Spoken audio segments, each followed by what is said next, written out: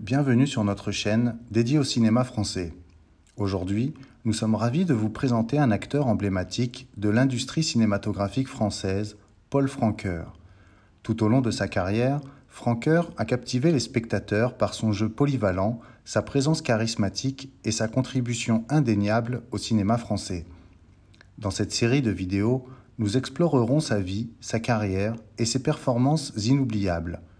Rejoignez-nous alors que nous plongeons dans l'univers fascinant de Paul Franqueur en nous attardant sur ses débuts, ses collaborations avec des réalisateurs renommés, ainsi que sur l'héritage qu'il a laissé derrière lui.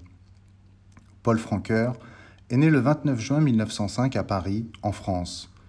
Peu de détails sont connus sur sa vie personnelle et son enfance, mais on sait qu'il a développé très tôt une passion pour le théâtre et la performance.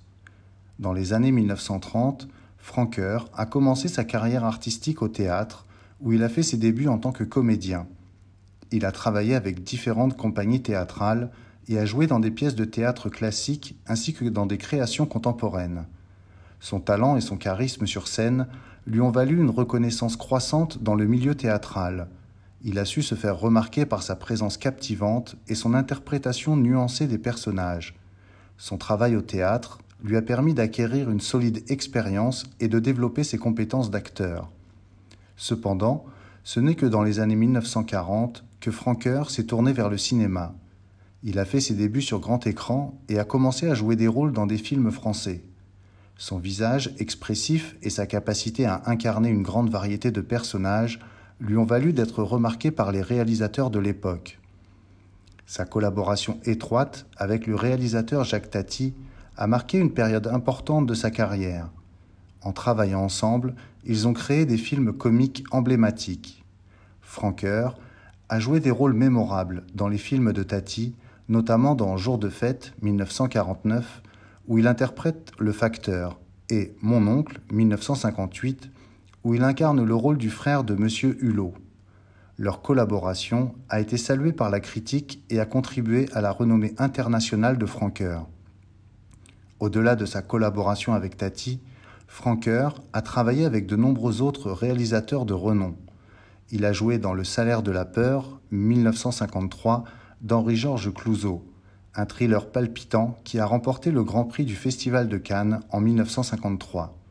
Franqueur a également travaillé avec Louis Buñuel dans Le charme discret de la bourgeoisie, 1972, un film satirique acclamé qui a remporté l'Oscar du meilleur film en langue étrangère.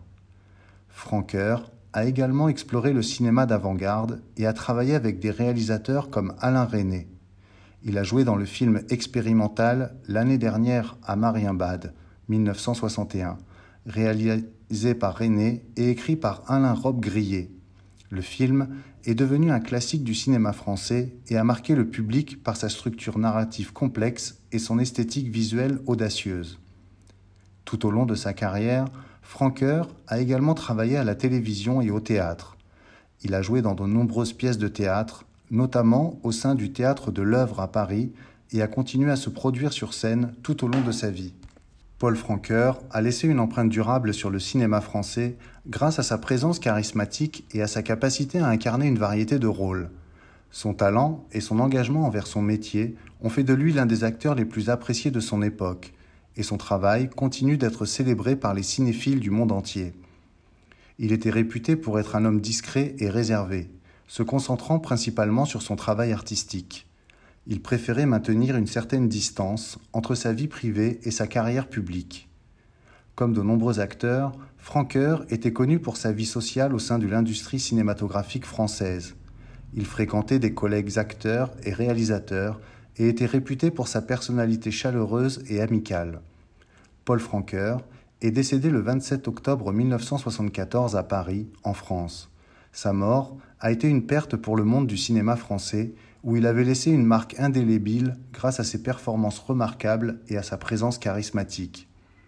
Sa disparition a été ressentie par ses collègues acteurs, réalisateurs et par les cinéphiles qui appréciaient son talent et son travail.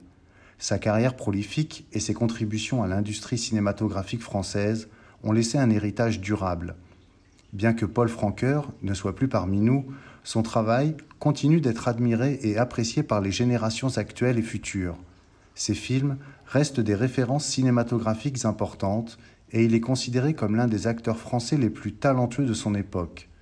C'est ainsi que se termine l'histoire de Paul Francoeur, un acteur français talentueux dont le charisme et le jeu polyvalent ont marqué le cinéma français. Aujourd'hui, nous rendons hommage à Paul Francoeur en nous souvenant de ses performances inoubliables et de sa contribution à l'industrie cinématographique. Si vous êtes passionné de cinéma français et que vous souhaitez découvrir ou redécouvrir les films dans lesquels il a brillé, je vous encourage vivement à vous abonner à notre chaîne. Merci de votre soutien et de votre passion pour le cinéma français. Nous avons hâte de partager avec vous de nouveaux contenus passionnants. À bientôt sur notre chaîne.